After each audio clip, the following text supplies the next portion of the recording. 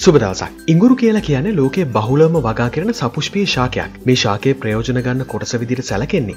ඒ මුලහෙවත් අල කොටසයි. මෙම ශාක කොටස් ආහාර පිසීමේ කටයුතුවලට මෙන්ම පාං හා කේක්වැනි ආහාර පිළියල කර ගැරීමේදීද භාවිත කරනවා. ඉංගුරුවලට හැකියාව තියෙනවා ප්‍රදාහතත්වයන් අවම කරන්න වගේම ආහාර ජීර්ණය උත්තේජනය කරන්නත්.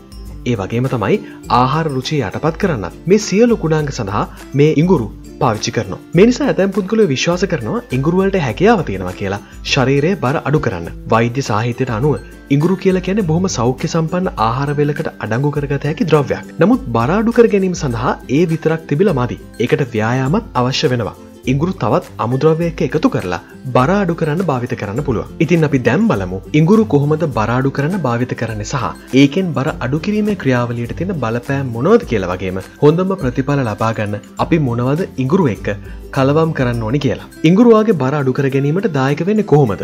ඉංගුරුවල අඩංගු වෙනවා ජිංජරෝල් සහ ෂෝගෝල්ස් කියන සංයෝග වර්ග දෙකක් මේ සංයෝගවලට හැකියාව තියෙනවා වගේ ශරීරයේ විවිධ ජෛවීය ක්‍රියාවලි උත්තේජනය කරන්න. පර්ේෂණ මගින් පෙන්වා දෙනවා ස්තුලතාවයට හේතුවෙන්නේ ඔක්සිකාරක ආතතිය හා ප්‍රදාහ තත්ත්වයන් කියලා. මෙන්න මේ ඔක්සිකාරක ආතති තත්වයන් ඇතිවෙන්නේ ශරීරයේ තියෙන නිදහස් රැඩිකල් වලින් සිදුවන හානි නිසයි. ඉංගුරුවල පවතින ප්‍රතියෝක්සිකාරක ගුණංගවලට හැකියාව තියෙනවා මේ නිදහස් රැඩිකල් පාලනය කරන්න. ඒ වගේම තමයි එහි පවතින ප්‍රතිප්‍රදාහ ගුණංගවලට පුළුවන් ප්‍රදාහ තත්ත්වයන් පාලනය කරන්න. ඉංගුරුවල පවතින මේ ගුණාංගවලට කෙලින්ම වගේ බරාඩු කරන්න බැහැ නමුත් මේ ගුණාංගු දව් කරනවා කන්තුක වාහිනීවලට සිදුවන හානි වලක්වන්න වගේම බර වැඩිවීමේදී ඇතිවන අතුරු ප්‍රතිඵල නැති කරගන්න. මීට අමතරව සිදුකරන විධ පරීක්ෂණ මගේ නොප්පු වෙලා තියෙනවා. ඉංගුරුවලට බර අඩු කිරීමේ හැකියාවක් තියෙනවා කියලා. ස්තුල පිරිමියා යොදාගෙන කරපු එක් කුඩා පරීක්ෂණකින් ඔප්පු වෙලා තියෙනවා. දිගින් දිකටම ඉංගුරු භාවිත කිරීමෙන් එයාලගේ බර තවදුරටත් වැඩිවුණේ නැහැ කියලා. ඒ වගේම තමයි තවත් විශ්ලේෂණයකින් ඔප්පු කරලා තියෙනවා. ඉංගුරුවලට ශරීරයේ බරාඩු කිරීමේ ක්‍රියාවලියේදී පැහැදිලි වෙනසක් ඇති කිරීමේ හැකියාවක් තියෙනවා කියලා. ඒ වගේම තමයි ඉංගුරුවල බලපෑම විශේෂයෙන්ම උදරයේ තැන්පත් වෙලා තියෙන මේ දේ මතත් ක්‍රියා කරනවා කියලා. ජිංජරෝල්ස් කියන සංයෝගයට හැකියාව තියෙනවා ශරීරයේ පවතින ජෛවී ක්‍රියාවලි උත්තේජනය කරන්න. මෙම සංයෝගය මගින් ආහාරජීර්ණ ක්‍රියාවලි ඉක්මං කරලා ප්‍රතිස්තූලක බලපෑම් ඇති කරනවා. ඒ වගේම බඩවැල් තුළදි සිදුවන ආහාර අවශෝෂණ ක්‍රියාවලිය වගේම තවදුරටත් ජීර්ණයවීම උත්තේජනය කරනවා. ඇතෙම් පර්ේෂණ මගින් පෙන්වා දෙනවා ජිංජරෝල්සල්ට හැකියාව තියෙනවා කියලා වගේ රුදිරසීනී මට්ටම ස්ථායි කරන්න. නමුත් රුදිරසීනි මට්ටම ස්ථායි වෙලා තියෙනවා කියලා කියන්නේ වගේ බරාඩු කර ගන්න තියෙන හොඳම තුරුම්පුවක්.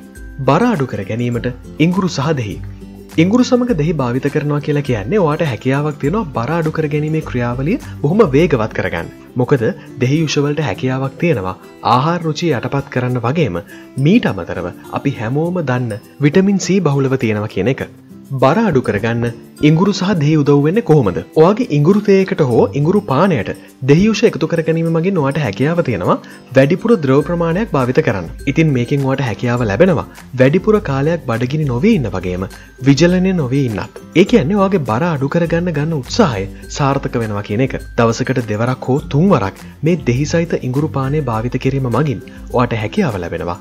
විජලනය වගේම ආහා රුචි යටපත් කරන්න. බර අඩු කර ගැනීමට ඇපල් සයිඩ විනාකිරි සහ ඉංගුරු ඇපල් සයිඩ විනාකිරිවලට කොහොමත් හැකියාව තියෙනවා බර අඩු කරන්න. ඉතින් මේක ඉංගුරුත් එක භාවිත කිරීමෙන් ඕලට පුළුවන් ප්‍රතියෝක්ෂිකාරක බලපෑම මෙන්ම රුදිර සීනි මට්ටමට ස්ථායි විදිට පවත්වාගෙනයාම උත්තේජනය කරන්න. ඇපල් සයිඩ විනාකිරිවල අඩංගු ප්‍රෝබයෝටික්ස් වලට හැකියාව තියෙනවා. වගේ ආමාශය සෞඛ්‍ය සම්පන්න විදිහයට පවත්වාගෙන බර අඩු කර ගැනීමේ ක්‍රියාවලියට උදව්වෙන් බර අඩු කරගන්න ඇපල් සයිඩ විනාකිරිසා ඉංගුරු උදව් වෙන්නේ කොහොමද? මේ අමුද්‍රව්‍ය දෙකම පහසුවෙන්ම ආහාරයට එකතු කරගන්න තියෙන විදිහ තමයි මේවා පානයක් ලෙස සකසා භාවිත කිරීම. මේ පානය හදාගන්න මෙන්න මෙහෙමයි. ඉංගුරු තේබෑගයක් කුණුසුම් වතුර ගිල්වා පිළියල කරගන්න ලද ඉංගුරු තේකෝපයක් නිවෙන්නට හැර.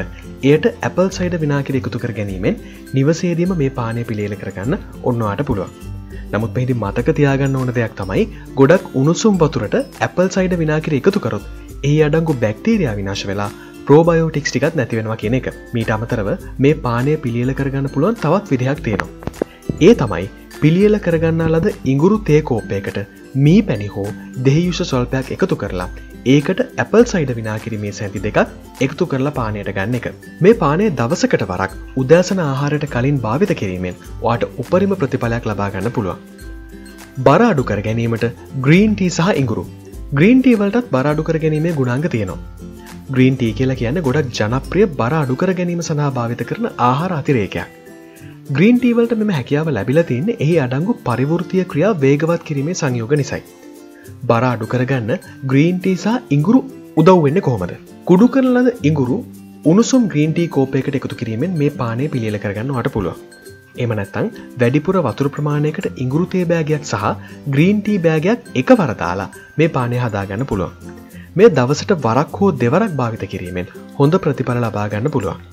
මේදී මතකතියාගන්නන තවත් වැදගත් කාරණයක් තමයි ග්‍රීන්ටී වල කැෆේන් අඩංගු වෙනවා කියන එක. බර අඩු කර ගැනීමට ඉංගුරු යුෂ. බර අඩු කරගන්න පුළුවන් තවත් එක් විදිහක් තමයි ඉංගුරු යුෂ පානය කරන එක. මේ ඉංගුරු යුෂවල සාමාන්‍යනෙහි සැරගතිය අඩු කරගන්න තවත් අමුද්‍රවයක් ඊට එකතු කරගන්න පුළුවන්. මේ වගේ එකතු කරන අමුද්‍රවය තමයි මී පැණි දෙහියුෂ හෝ වතුර. මීට අමතරව මේ එකතු කරන සංයෝගවලට ප්‍රතියෝක්ෂිකාරක ප්‍රතිශක්ති වර්ධන හා විජලනය නතර කිරීමේ ගුණාංගත් තියෙනවා. බර අඩු කරගන්න ඉංගුරු යුෂ උදව්වෙන්න කොහොමද. ඉංගුරු යුෂපානයක් වාට ගෙදරදීම පිළියල කරගන්න පුළුවන් නැවම් ඉංගුරු කැබලි වතුරකෝප එකක් සමඟ හොඳින් බ්ලෙන්ඩ කිරීමෙන් වාට පුළුවන් මේ පානය සකසගන්න. වට කැමතිනම් මේක පෙරාගන්නත් පුළුවන්. ඉන් පසුව මෙම ඉංගුරු යුෂ මිශ්‍රණයට නැවුම් දෙහියුෂ හෝ මී පැණි සහ වෙනත් ස්වභාවික පැනිරසකාරකයක් එකතු කරගන්න. ඊට පස්සේ මේට මින් ටිකක් එකතු කරගන්න ඕනේ. ඔට කැමති විදිහට මේ පානයට අයිස්කට එකතු කරගන්න ඊට පස්ස පුළුවන්. මේ පානය දවසට වරක් හෝ දෙවරක් භාවිත කරලා ඕට පුළුවන් ආහාර රුචිය යටපත් කරගන්න. බර අඩු කරගන්න ඉංගුරු කුඩු.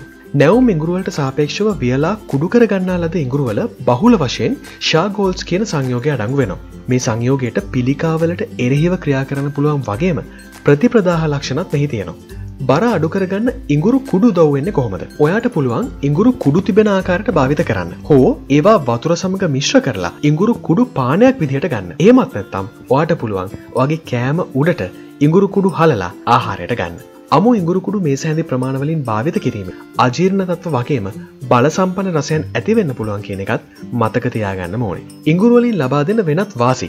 බර අඩුකිරීමේ ක්‍රියාවලට අමතරව ඉංගුරුවලින් තවත් ගොඩක් සෞඛ්‍යමය වාසි වාලට ලබා දෙනවා. ඒවගේ ලැබෙන වාසිකහිපයක් තමයි මෙන්න මේ විදිහට දක්වල තියෙන්නේ. ආතති හෝමෝනය හෙවත් කෝටිසෝල් පාලනය කිරීම. වැඩි කරන ලද හා වඩාත් විදිමත් කරන ලද බඩවැල් ක්‍රියාකාරිත්වය. ශක්තිය වැඩි කිරීම. හර්ද රෝගවලට ඇති අවධානම අවම කිරීම. මතක ශක්තිය හා මොලේ ක්‍රියාකාරිත්වය වැඩිදියුණු කිරීම. ප්‍රතිශක්තිය කරන පද්ධතියේ ක්‍රියාකාරිත්වය වැඩිදියුණු කිරීම. බර අඩුකර ගැනීමට ඉංගුරු භාවිතයේදී ගතයුතු පූර්වෝපායන්. ඉංගුරු කියලා කියන ගොඩක් පුද්ගලයින්ට කිසිම ප්‍රශ්නයක් නැතුව බර අඩුකරගන්න භාවිත කරන්න පුළුවන් දෙයක්. නමුත් ඇතැම් පුද්ගලයන්ට ඉංගුරු භාවිතය අතුරු ප්‍රතිඵල විදිහට මලබද්ධය හා ආමාශයෙහි වාතය පිරීමේ තත්ත්වයන් ඇතිවෙන්න පුළුවන්. ඉංගුරු මගින් ඇතැම් විට පිත්තාශයෙන් පිත්යුෂ ශ්‍රාවයවීම වැඩිවෙන කරන්න පුළුවන්. එනිසා වෛද්‍යවරුන් පිත්තාශාශයත රෝගතත්ව පවතින පුද්ගලයින්ට ඉංගුරු භාවිතය නිර්දේශ කිරීමේදී සැලකිලිමත් වෙනවා. ඒ වගේම තමයි ගර්භණී කාලයේදී ඉංගුරු භාවිතය ඇතැන්විට ප්‍රශ්න ඇති කරන වුණත් පුළුවන්. නමුත් සමහර වෛද්‍ය විශේෂඥන් ඔක්කාරයට පිළියමක් ලෙස ගර්භණී කාන්තාවන්ට මේ ඉංගුරු නිර්දේශ කරනවා. කෙසේ වෙතත් ඔයා කිරිදෙන හෝ ගර්භණී කාන්තාවක් නම් ඖෂධ භාවිත කරන කෙනෙක් නම් ඉංගුරු භාවිතයට කලින් වෛද්‍ය උපදෙස් ලබාගන්න එක තමයි සුදුසුමදේ. බර අඩු කරන මේ ඉංගුරු මිලදී ගන්න කොහොමද. වාට පුළුවන් ගොඩක් සිල්ලර බඩු කඩවලින් ඉංගුරු මිලදී ගන්න. මේ කඩවල නිෂ්පාදනංශයෙන් නැවුම් ඉංගුරු ලබාගන්න වට පුළුවන්. ඒ වගේම තමයි වියලා කුඩු කරන ලද ඉංගුරු කුළු බඩු හෝ ඖෂධංශයෙන් ලබාගන්නත් පුළුවන්. ගොඩක් සෞඛ්‍යමය ආහාර විකුණන වෙළඳසල් වලින් විවිධාකාරය ඉගුරු නිෂ්පාදන ලබාගන්න පුළුවන්.